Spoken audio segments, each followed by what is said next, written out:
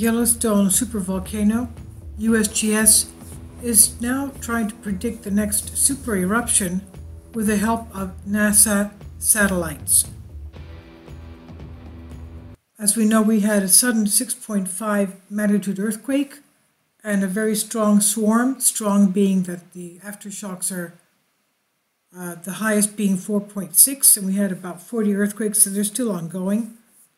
190 miles west in the area of uh, about the mountains of Boise, Idaho.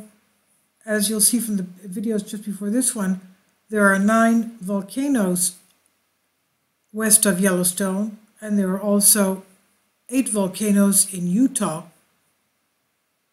That's where we recently had the 5.7 sudden earthquake in Salt Lake City. And both these areas, of course, are in the areas of the mantle plume and the magma that feeds Yellowstone as well.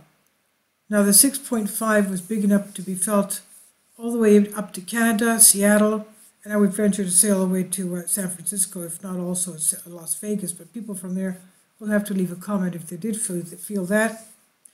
And um, it's still ongoing, but it did shake Yellowstone.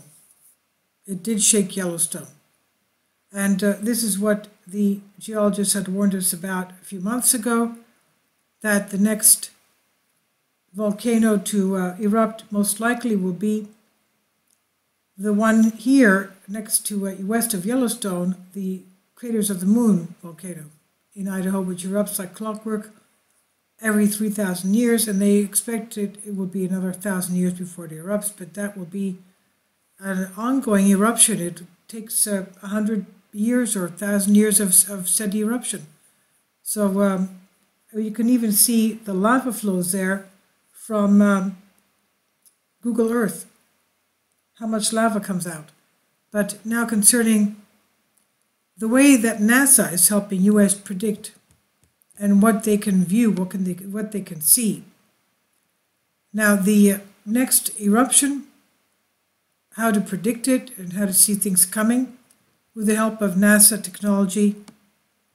Yellowstone caldera, as we know, gets its name as a supervolcano. It's the second largest supervolcano on the Earth. There are about 20 supervolcanoes, if not more.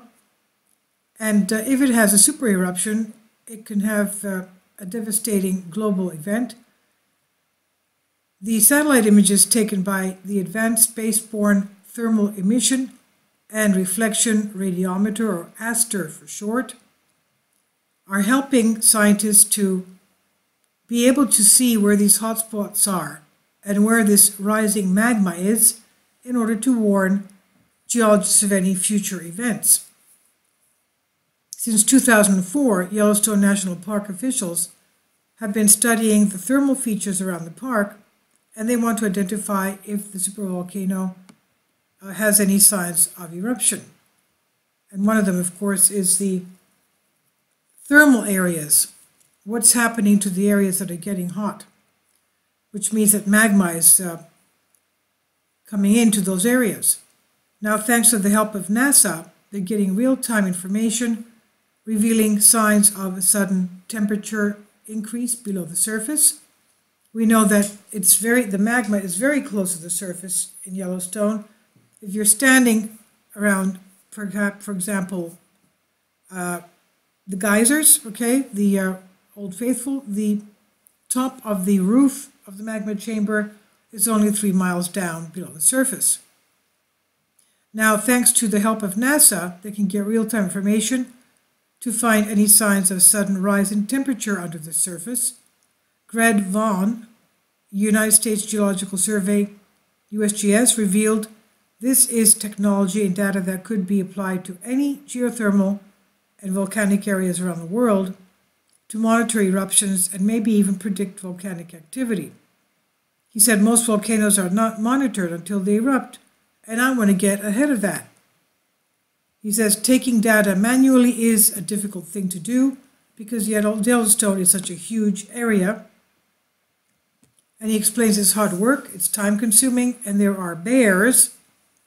Obviously, not only bears, but we also saw a very nice looking herd of bison, and you'll see that in the um, Yellowstone Old Faithful video that we took today.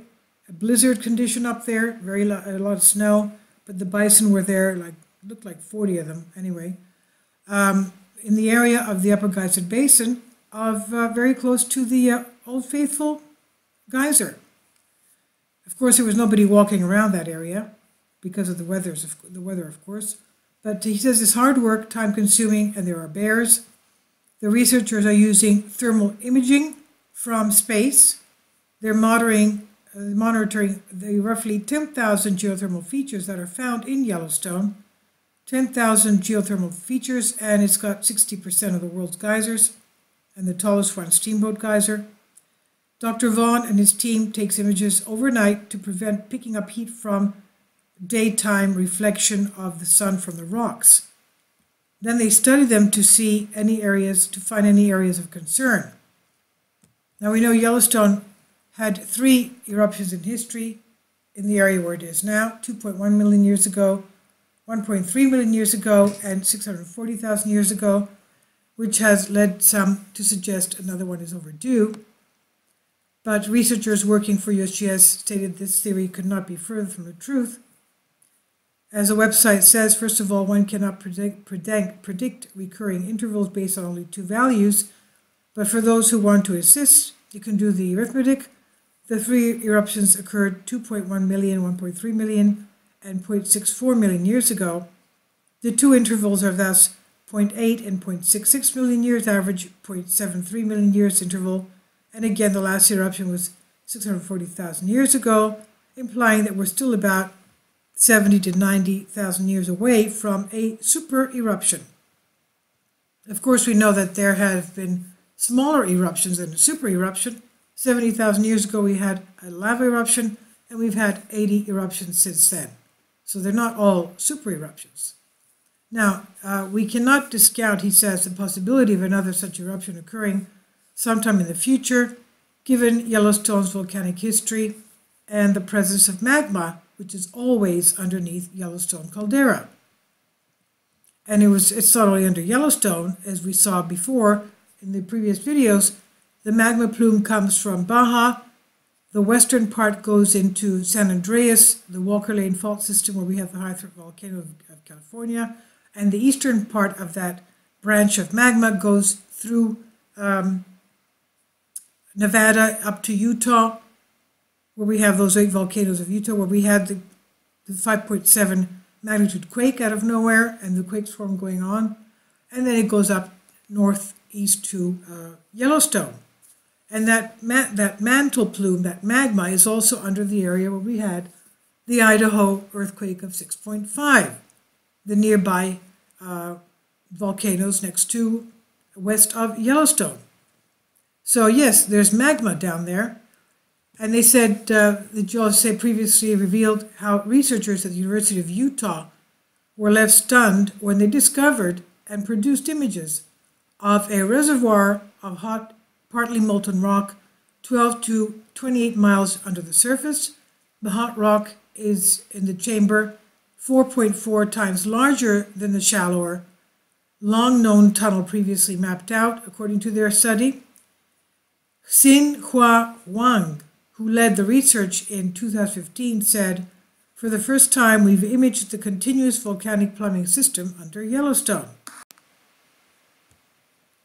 And that includes, he says, the upper crustal magma chamber we've seen previously, plus a lower crustal magma reservoir that has never been imaged before, and that connects to upper chamber to the Yellowstone hotspot plume, hotspot plume below the reservoir. And despite beliefs that these magma chambers are not full of molten rock ready to erupt, instead it is mostly solid and sponge-like rock with pockets of magma. Jamie Farrell, who is the co-author of the paper, states that the discovery does not mean that Yellowstone is, is any closer to erupting. He said the magma chamber and reservoir are not getting any bigger than they have been. It's just that we can see them better now using these new techniques, that they've always been there. Fin Chi Lin, the uh, another co-author, said that it gives us a better understanding of the Yellowstone magmatic system. We can now use these new models to better estimate the potential seismic and volcanic hazards. Okay, so at least they have this technique to help find out what's going on. Maybe they can use it to find out what's going on in Salt Lake City with those quakes and also in Idaho, because after all, they're part of the same mantle plume. This by Callum Hoare on Express UK.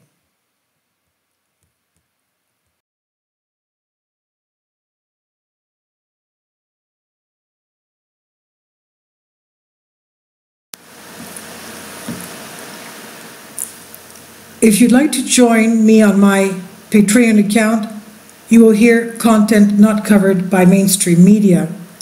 These riveting stories will be based on my research, and I will state my opinions and give my personal insight on diverse and controversial subjects and world events, events not covered by mainstream media, and not certainly on, not supported by YouTube guidelines. So whatever I have on my Patreon, most of those will not be on my YouTube channel. Please consider becoming a member today. More of the, the most significant and important videos will be on my Patreon channel. Your support helps me to continue my research and keeps this YouTube channel alive. And we depend on your support, your generous charity, because we help economically challenged families here in Athens, Greece in Kapota, and we also help the young generation with university tuition and the community around our church. Thank you.